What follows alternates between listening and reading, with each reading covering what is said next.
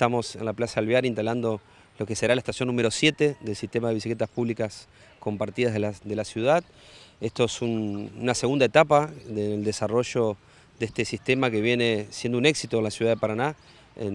han pasado ya nueve meses de la implementación de, las primeras cuatro estaciones sobre el borde costero de nuestra ciudad, con las primeras 50 bicicletas públicas. Y en esta segunda etapa ya, eh, como bien vos decías, ya eh, instalando como medio alternativo de transporte las nuevas seis estaciones eh, en el centro microcentro de la ciudad, nuevas 50 bicicletas que se suman, van a ser un total de 100 que vamos a tener en la ciudad para los turistas y sobre todo estas nuevas seis estaciones para los vecinos que, que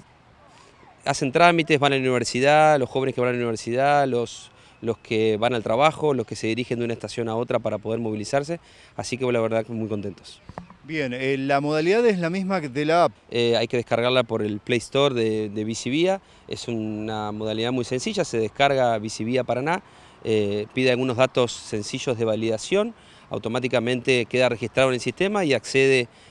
a 30 días gratuitos para poder utilizar el, servicio.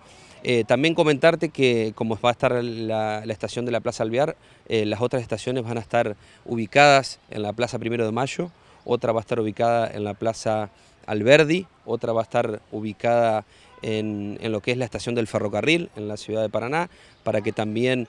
con esto lograr que la gente que va y viene de las ciudades aledañas a la ciudad de Paraná, poder conectar eh, con el centro de la ciudad y viceversa cuando se dirigen al trabajo. Y también vamos a tener en la Costanera Media, en la zona eh, del Monumento Urquiza, otra estación. Y por último, vamos a estar en, lo que es la Feria de Salta Nagoyá, en esa zona de la ciudad, para conectar lo que es la feria con los clubes, con lo que es el Parque Verdut.